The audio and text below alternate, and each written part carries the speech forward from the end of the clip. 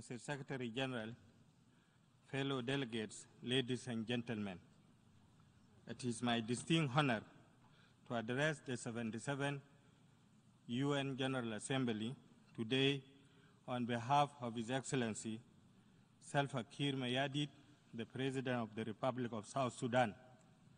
I wish to congratulate the President-elect, His Excellency Mr. Csaba Kőrösi of Hungary, for being chosen to lead the 77th session of the United Nation of United Nations General Assembly.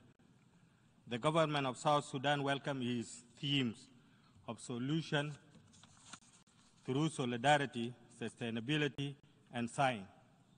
We stand to support sustainable policies and positive social transformation. Excellencies, ladies and gentlemen, we commend the Secretary General for convening Transforming Education Summit, which, success, which successfully concluded this week. I'm pleased to report that South Sudan is committed to transform its education system through increasing its budget allocation for education to 17.5% of the national budget. This, is, this investment in education will enable us to build more schools and improve teachers' pay and hence set the country on track to achieving SDG 4 by 2030. Excellencies, ladies and gentlemen, the revitalized peace agreement on the, resolution, on the resolution of the conflict in the Republic of South Sudan signed on 12 September 2018 between the government and the opposition group ended the internal conflict in South Sudan. The parties are committed to the implementation of the peace agreement, which has improved the security in South Sudan. Owing to relative peace, the internally displaced and refugees have been voluntarily returning home. Although more formal reintegration remains a challenge due to the limited resources. However, the government is doing whatever is possible to resettle the internal displaced persons and refugees. On the same note, I'm pleased to inform you that the command structure of National Unified Forces had been established. This is a major leap toward transformation and regularization of forces. Since the unification of the command structure in April 2022, there has been this escalation in clashes between South Sudan People Defense Forces and the SPLA-IO. In addition, the graduation of the first batch of 53,000 National Armed uh, Unified Forces was successfully graduated on the 30th of August 2022. I am equally pleased to inform you that the parties to the agreement have agreed on a roadmap to complete remaining tasks in the peace agreement, which will pave the which will pave way for a peaceful, fair, and credible election at the end of transitional period in 2025. Fellow delegates, ladies and gentlemen, through the thoughtful and targeted action, South Sudan has been able to contain the spread of COVID-19. The health effect on, of the pandemic in South Sudan has been surprisingly less pronounced than expected, more by the very low morbidity and fertility rates.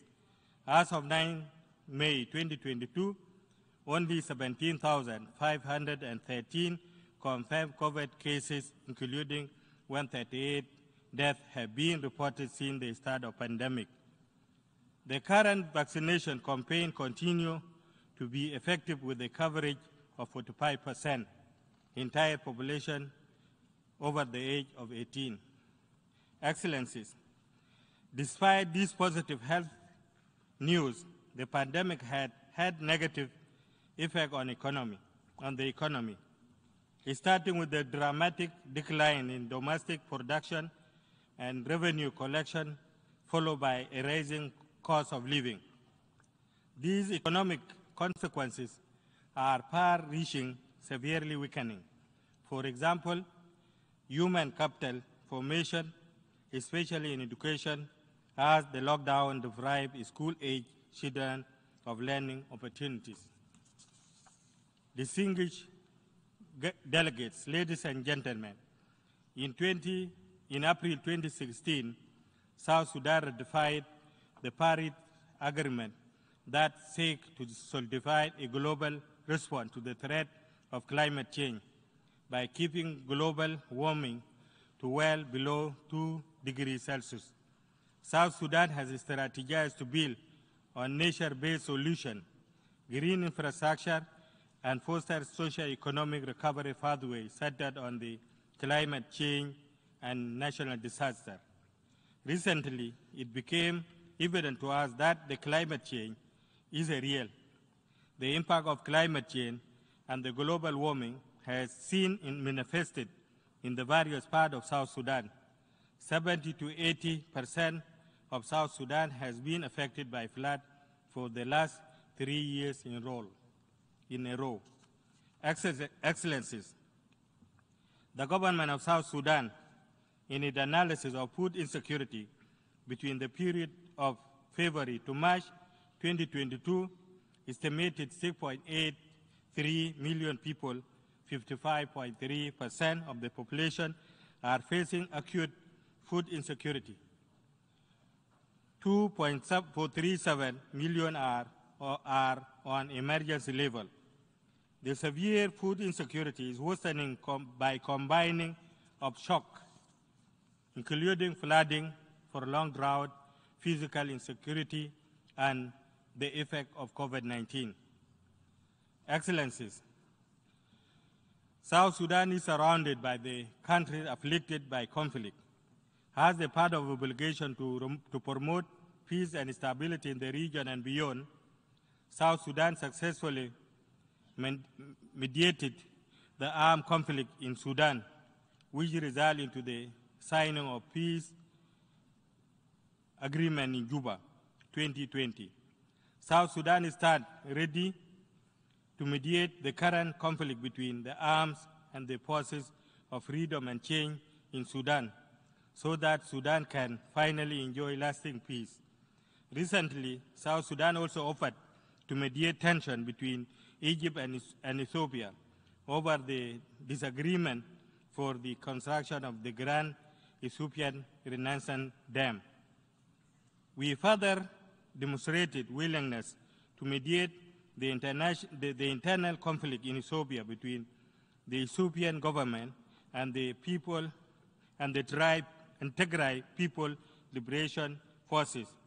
The Republic of, of South Sudan, furthermore, avail itself ready to mediate border issues between the Republic of Sudan and the, and the Federal Democratic Republic of Ethiopia. By participating in bringing regional peace and stability, South Sudan has demonstrated its ability as a reliable partner in quest the, for the region and international peace and security. Further, the Republic of South Sudan is contributing one battalion of peacekeeping forces to be part of the East Africa forces to bring peace in the Eastern Democratic Republic of Congo. The current war between Russia and Ukraine is unfortunate and, and, and devastating to the lives and livelihood of the citizens of both countries and beyond. The war has led to a severe humanitarian crisis where millions are in dire need. This war has not only affected the two warring parties, but it has far-reaching effect on global economic. For, from the moral point of view, South Sudan government is calling on Russia and Ukraine to cease all forms of hostilities and resolve the dispute through diplomatic and constructive dialogue to avert further consequences.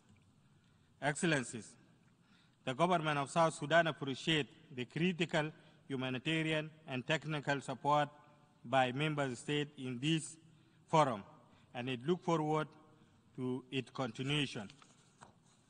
To mitigate effect of flood of flooding on the population and livelihood, South Sudan is donating $10 million to the WFP to alleviate the suffering of the affected displaced communities.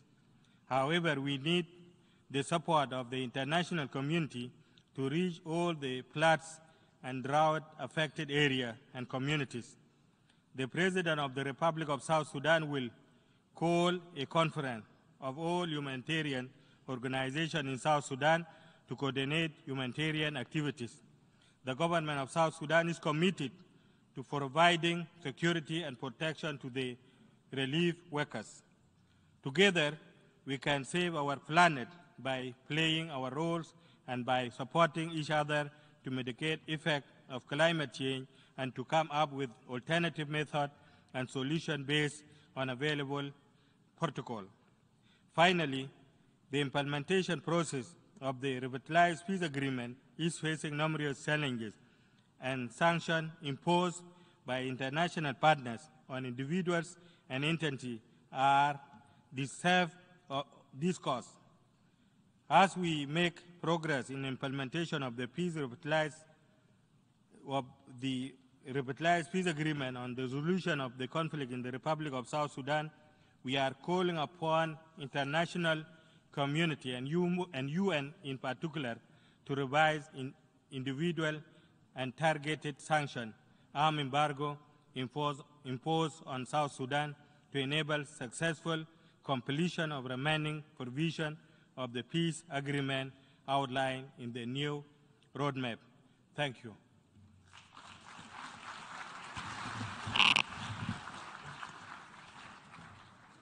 En nombre On behalf of the Assembly, I wish to thank the Vice President of the Republic